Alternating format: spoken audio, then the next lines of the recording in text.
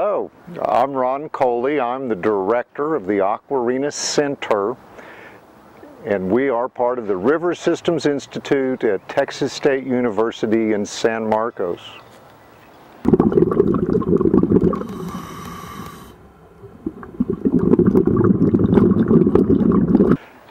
The underwater cam that's being installed at Deep Hole is a result of individual volunteers here at, at uh, the Aquarena Diving for Science program taking the initiative, having the vision to, to want to do something, to share this place with the world. And, and thanks to those volunteers, we have a very exciting opportunity to let people view the status of the San Marcos Springs on a daily basis, no matter where in the world that you are. My name Brandon. What are you doing? Holding a webcam. We're going to install this underwater. What's it going to do? It's going to film Aquarena Springs from a unique vantage point beneath the surface where we can see the fish and the water and all the plant life that's down there.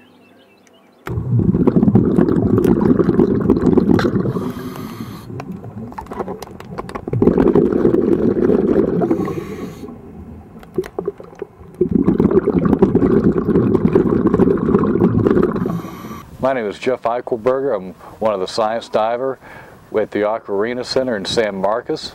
Well, the experience with underwater camp is that it's going to provide everybody with a really great way to appreciate what I get to um, see every time I dive out here.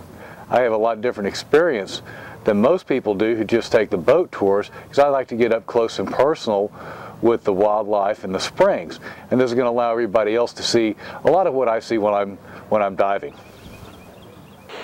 The underwater cam is a result of the volunteers here at Aquarena having a vision of how to uh, share the, the magnificence of the San Marcos Springs with the entire world. And, and we're going to be able to let people access these, these images uh, through the World Wide Web. And, and here you're going to be able to, to come and see the status of the springs anytime you want. It's a pretty exciting development. Uh, my name is Erica Jane Meyer. I'm the uh, Diving for Science Coordinator here at the uh, Aquarena Center.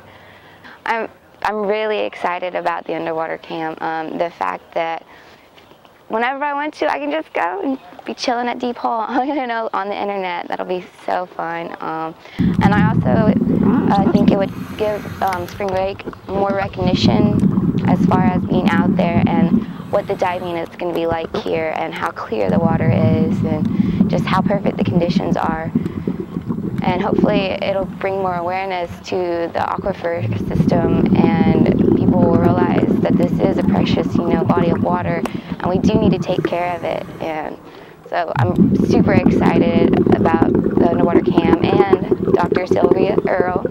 Great woman, great woman.